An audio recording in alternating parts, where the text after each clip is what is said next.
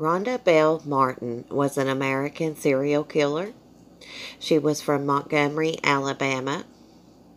And in 1956, when she was 49 years old, she confessed to poisoning her mother, her two husbands, and three of her children. She denied killing two other children. Rhonda loved getting the get well cards and later the sympathy cards that came when the victims died, as well as taking uh, great care to have them buried side by side in a private plot. Her fifth husband, formerly her stepson, was poisoned like the others but survived, only to be left paraplegic.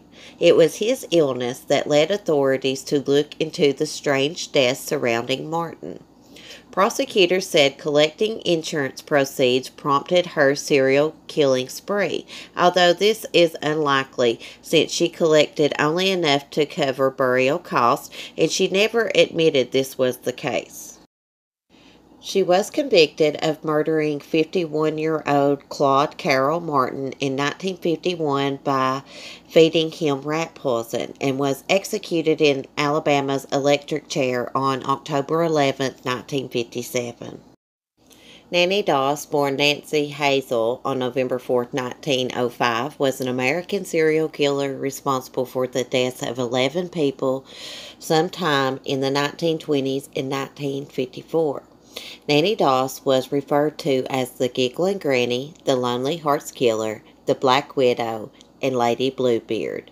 She was called a self-made widow by a newspaper. Nannie finally confessed to the murders in 1954 after her fifth husband had died in a small hospital in Tulsa, Oklahoma. In all, it was revealed that she had killed four husbands, two children, two sisters, her mother, a grandson, and a mother in law. Margie Velma Barfield, born October 29, 1932, was an American serial killer who was convicted of one murder, but who eventually confessed to six murders in total. Barfield was the first woman in the United States to be executed after the 1976 resumption of capital punishment, and the first since 1962. She was also the first woman to be executed by lethal injection.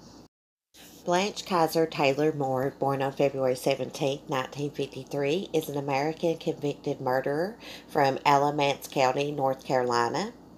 Moore is awaiting execution in North Carolina for the 1986 arsenic poisoning of her boyfriend. She is also suspected in the death of her mother in law, her first husband, and the attempted murder of her second husband in 1989. Thanks for watching guys. If you enjoyed this video, please give it a big thumbs up, subscribe to the channel, and turn the notification bell on. Every Friday I will be uploading a vintage true crime video. I hope you enjoyed this week's The Four Worst Grandmothers in U.S. History. Bye guys.